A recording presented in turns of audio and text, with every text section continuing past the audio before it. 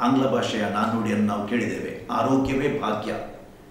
ಆದರೆ ಕೆಲವೊಮ್ಮೆ ಈ ಆರೋಗ್ಯವೆಂಬ ಸೂರ್ಯನಿಗೆ ರೋಗವೆಂಬ ಗ್ರಹಣ ತಾಗುತ್ತದೆ. ಈ ಗ್ರಹಣದಿಂದ ಮುಕ್ತಿ ನೀಡುವವರೇ ಡಾಕ್ಟರ್ಸ್, ವೈದ್ಯರು ಮತ್ತು ದಾದಿಯರು, ಪ್ಯಾರಾಮೆಡಿಕಲ್ಸ್. ವೈದ್ಯರು ಆರೋಗ್ಯ ನೀಡಿ ಒಂದು ಒಂದು ರೀತಿಯ ಜೀವದಾನವನ್ನು ಮಾಡ್ತಾರೆ.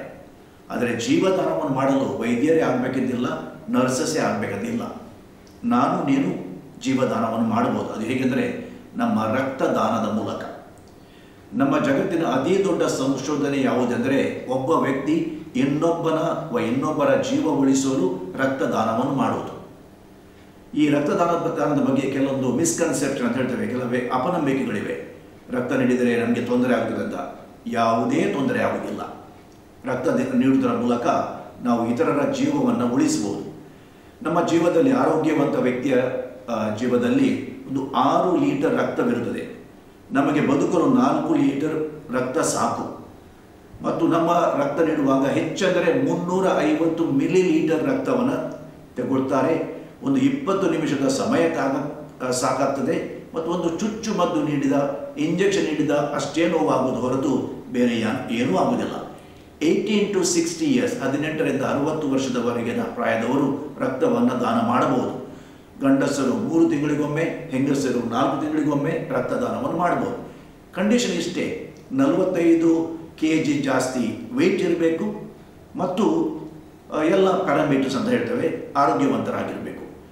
ಏನು ಅಡ್ವಾಂಟೇಜ್ ಇವೆ ಅಂದರೆ, ನಾವು ರಕ್ತ ನೀಡುವುದರಿಂದ ಹೊಸ ರಕ್ತ ಉತ್ಪನ್ನವಾಗ್ತದೆ, ನಮ್ಮ ಜ್ಞಾಪಕ ಶಕ್ತಿ ಮತ್ತು ಕಾರ್ಯತತ್ಪರತೆ ಚುರುಕಾಗುತ್ತದೆ, ನಂತರ ಕೊಲೆಸ್ಟ್ರಾಲ್ ಕಡಿಮೆ ಆಗ್ತದೆ ಬ್ಲಡ್ ಪ್ರೆಷರನ್ನು ಕಡಿಮೆ ಮಾಡ್ಬೋದು.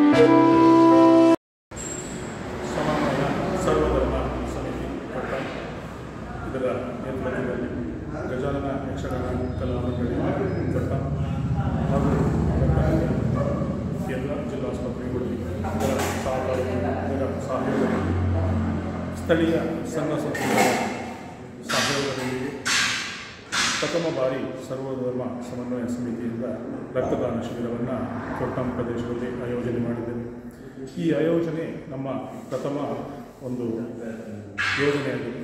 ಇದನ್ನು ಪಟ್ಟಣ ಪ್ರದೇಶದಲ್ಲಿ ಉತ್ತಮ ಪ್ರತಿಕ್ರಿಯೆ ವ್ಯಕ್ತವಾಗುವ ಉದ್ದೇಶದಿಂದ ಮಾಡಿದ್ದೇವೆ. ಅದಕ್ಕೆ ಚ್ಯುತಿ ಬಾರದ ರೀತಿಯಲ್ಲಿ ಪ್ರತಿಯೊಂದು ಸಂಘ ಸಂಸ್ಥೆಗಳು ತನ್ನ ಸ್ವತಃ ಸ್ವಪ್ರೇರಣೆಯಿಂದ ಇದಕ್ಕೆ ಬೆಂಬಲವನ್ನು ವ್ಯಕ್ತಪಡಿಸಿ ಒಂದು ಅತ್ಯುತ್ತಮವಾದ ರಕ್ತದಾನ ಶಿಬಿರ ಯಶಸ್ವಿಯಾಗುವಲ್ಲಿ ಕಾರಣೀಭೂತರಾಗಿದ್ದಾರೆ. ರಕ್ತದಾನ ಮಾಡಿದರೆ ಕೆಲವರಿಗೆ ಏನೋ ಒಂದು ತಪ್ಪು ಕಲ್ಪನೆ ಇದೆ.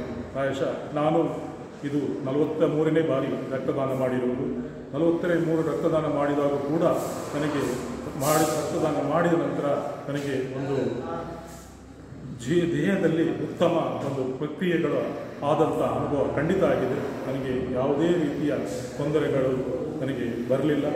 ಪ್ರಾಯಶಃ ಇವತ್ತು ಐವತ್ತನೇ ವರ್ಷದಲ್ಲಿ ನಲವತ್ತನೇ ಮೂರು ಬಾರಿ ರಕ್ತದಾನ ಮಾಡುವಾಗ ನನಗೆ ಯಾವುದೇ ಬಿ ಪಿ, ಶುಗರ್ ಇಂಥ ಮಾರಕ ಕಾಯಿಲೆಗಳು ಯಾವುದೂ ನನಗೆ ಬರಲಿಲ್ಲ. ಅದು ನನ್ನ ರಕ್ತದಾನದಿಂದಾಗಿ ನನಗದು ಒಂದು ಸಿಕ್ಕಿದೆ ಅನ್ನೋದನ್ನು ನಾನು ಹೇಳಲಿಕ್ಕೆ ಇಚ್ಛೆ ಪಡ್ತೇನೆ. ಹಾಗೆ ಗಜಾನ್ನ ಯಕ್ಷಗಾನ ಕಲಾಮಂಡಳಿಯವರು ಬಹಳ ಉತ್ತಮ ರೀತಿಯಲ್ಲಿ ನಮಗೆ ಸಹಕಾರ ನೀಡಿದ್ದಾರೆ. ಅವರ ಒಂದು ಏನು ಕೆಲಸ ಕಾರ್ಯ ಅದೆಲ್ಲ ಬದಿಗೆತ್ತಿ ನಮ್ಮ ಈ ರಕ್ತದಾನ ಯಶಸ್ವಿಯಾಗಿ ಸಹಕರಿಸಿದ್ದಾರೆ.